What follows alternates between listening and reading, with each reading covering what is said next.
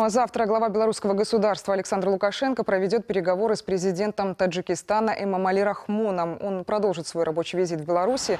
Переговоры во Дворце независимости пройдут в формате один на один и в расширенном составе. Главы государств подробно обсудят вопросы развития двусторонних отношений, а также участие в различных интеграционных форматах и взаимодействия во внешней политике.